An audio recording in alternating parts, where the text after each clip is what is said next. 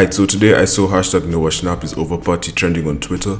And I'm not gonna lie, I had no idea who he was. So I did my research and found out that he was actually in like Stranger Things and a few other movies. Now, I'm not gonna sit here and act like I'm surprised that someone was cancelled. Because if you're on Twitter, you know that people are cancelled literally like every minute. And usually it's for something that's just completely like just stupid. Like people tried to cancel PewDiePie like two weeks ago because he listened to a certain genre of music. So I clicked the hashtag to check out what actually happened. And the first thing I saw was this video that looks like it was filmed on a camera from like the 5th century. So I have no idea why the quality is so bad. Don't ask me, ask the people of Twitter. But it's actually a clip of Noah saying the N-word, allegedly. I have to say allegedly so that I don't get sued for slander.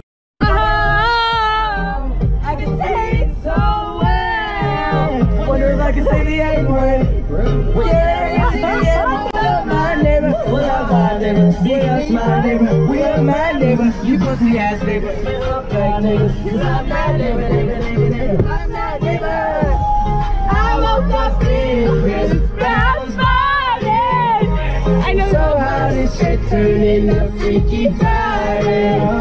Alright, so one thing I took away from this clip is that this is pretty much the Yanny or Laurel of 2020. Because people can't tell if he's saying the N-word or he's saying neighbor.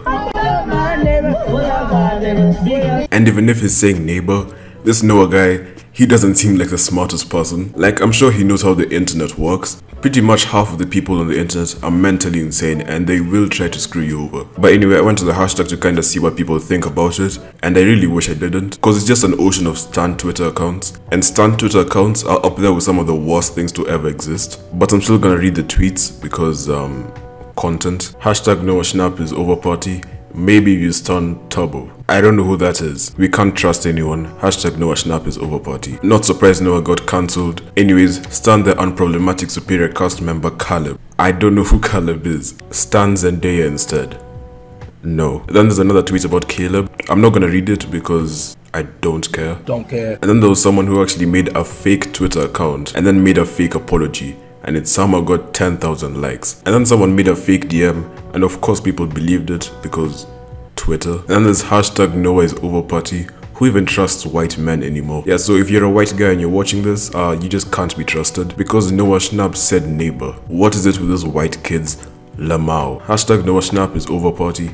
Maybe if he was Charli and not racist. Yeah, Noah Schnapp should just morph into Charli D'Amelio because that's apparently possible. And apparently if he says neighbor, he hates all black people. So in conclusion, white men still suck. Hashtag Noah Schnapp is over party. Yeah, if you're white and you're not a woman, you suck because a 12 year old on the internet said so. But anyway, apparently Noah made like a response or apology. I'm gonna put it on the screen right now. So if you want to read it, just pause the video and then read it. And if you don't want to read it, thanks for watching the video. Make sure you like, subscribe, and I'll see you in the next video.